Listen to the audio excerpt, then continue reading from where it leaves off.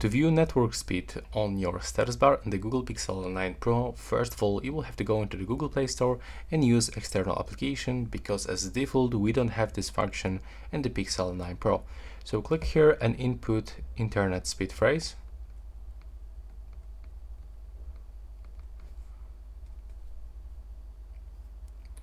And now, okay, maybe we have to change it for internet speed indicator.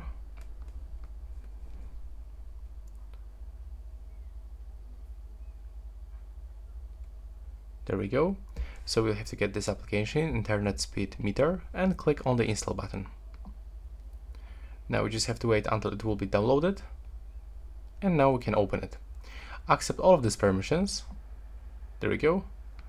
And as you can see, right now, we've got this information on the left bottom corner next to the to the time. And that, that's how it looks. Thanks for watching. Right now, please subscribe.